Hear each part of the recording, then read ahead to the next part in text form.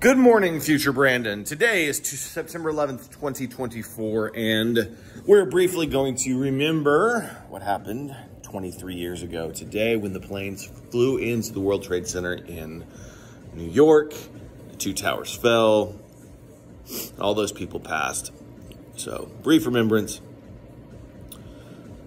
Put um, my wife's father's uh, my father-in-law, I guess would be the easy way to put it, put his dog to sleep last night. It was one of those uh, one of those bulldogs that you know has no neck, real squat, looks like a little pig, even kind of does like a little pig. Um, has a bunch of genetic deformities because of their breeding.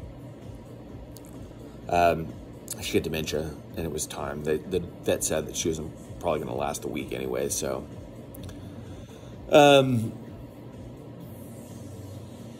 on my intermittent fasting, uh, so I'm trying to get back on that, and I've learned that as long as I can make it to work without stopping at a gas station, generally speaking, I'm going to be okay. Um, that is when I'm at weakest. In my car is my weakest. Recognizing one's weak points is very important. Figuring out where the stressors are, and that way you can divert extra energy into avoiding them is very important.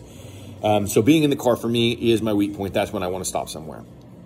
Don't know why I don't get it, but that's what's happened.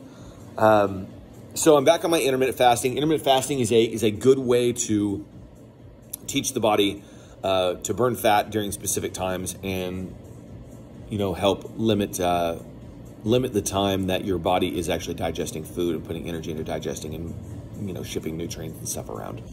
Um, we need a point where our body cleans itself out, and it can only clean out its cells. It's something called autophagy. Look that up. Very cool um, can only clean its cells out when it does not have nutrients to ship or process.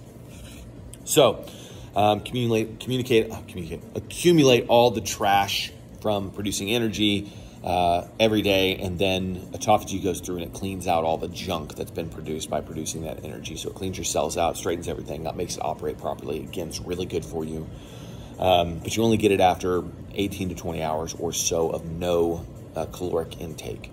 So what I'm doing is I'm doing a um, 18 hour fast where I don't eat anything but you know water, non-nutrient dense, non-nutrient uh, containing food, uh, and then hopefully around 11 I will be able to break my fast um, after I do a workout. So I'll go work out fasted, which is great for burning fat, and then I will consume my first meal, which is generally going to be a protein heavy, fat heavy meal, something that is good. Um, for shuttling the nutrients around and you know replenishing uh, the energy that I've lost working out or repairing the damage that I've done.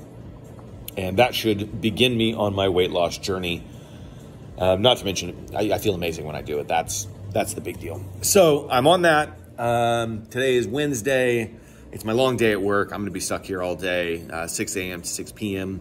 So I will probably be getting a lot of writing done. I've got a chapter that's almost done. I've been fighting with this one specific chapter for a week. I need to get it published. It's time.